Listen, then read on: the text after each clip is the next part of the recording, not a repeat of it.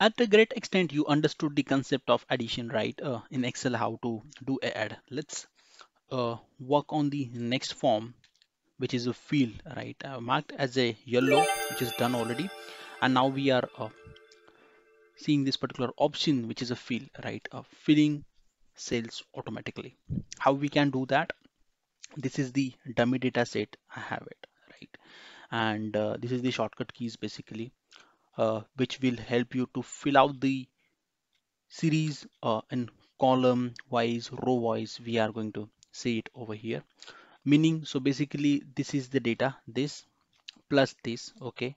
Uh, I want to do a equal uh, so not every time I'll use the is equal to sum function. However when I wanted to add a summation right uh, I'll do a sum form in the first column itself okay and then I'll double click over here. You could see the overall function is automatically get copied based on the available data sets.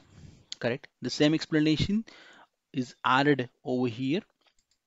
Correct? Rest cursor you just need to click double click over here and then we are good to you know scroll down the formulas right click the cross 1 to 20 we can see the result over here. And then over here if you could see the plus this this this I want to plus this as well. What I will do I'll just drag this down again. Okay you can see the overall calculation it's got a plus again and again. Correct?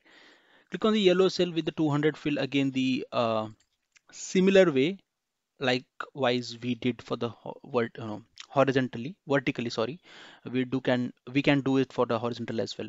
We'll just need to click over here and then do it like this okay? We can do in a similar fashion horizontal. Earlier we were doing as a vertical now we are doing it as a horizontal correct?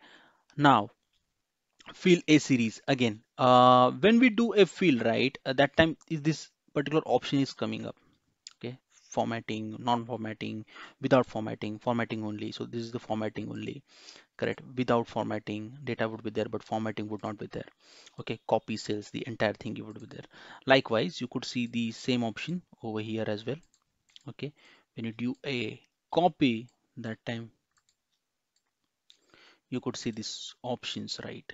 Flash fields copy fields. Okay so these are the uh, overall fields option uh, in MS Excel. Correct. Now I'll quickly show you the date function or maybe month function. We can we can say right in Excel it's a very important to understand the uh, date function right? It's a crucial ask.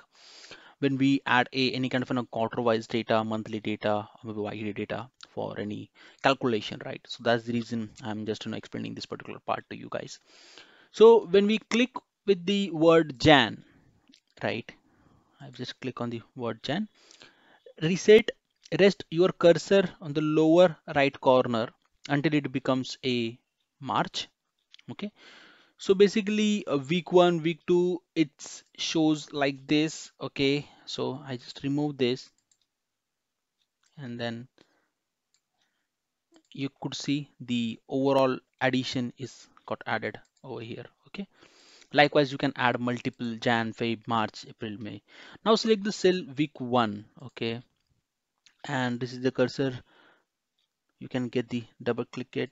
So suppose I don't have this particular data set, I'll double click over here. You could see the week one, week two, week three, week four. Likewise, we can automatically get add this data. Similar fashion, I want this, so I can add this as well okay just need to double click on the uh, data sets automatically you will get the information added in the excel itself okay? So as we have seen it fill option so i'm marking this as a yellow which will help us to gauge the next process. Hope you found this useful folks